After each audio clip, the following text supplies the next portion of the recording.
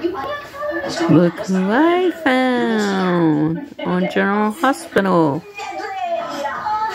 It's Charles's mother from Charles in Charge. What station? I pick her up. Oh, she just got in. You let your mother take the bus. I love taking the bus. I met so many colorful people. You see, that is our glory. You put this woman on a bus, before you get to the next stop, she knows every person's life story. Everybody's got a story. Gloria, it is so wonderful to see you again.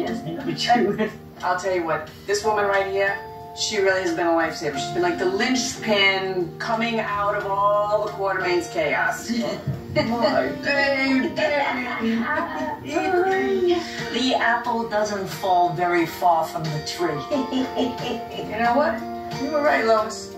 Is shaping up to be a very unforgettable Thanksgiving. I can't tell you how happy I am that we get to have Thanksgiving here every year. Oh, my